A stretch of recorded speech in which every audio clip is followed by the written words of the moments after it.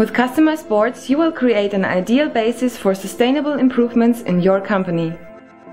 There are no limitations set to possible applications of these boards. They depict optimization and process routines, solve problems sustainably, assign responsibilities, or visualize your orders and priorities. Here is how it works. If you send us your draft, we will work out the layouts of your individual board and the corresponding magnets. Before you order the permanent board, you have the opportunity to test a preliminary version of your board in practical use. We would be glad to assist you in designing a board that meets precisely your individual requirements.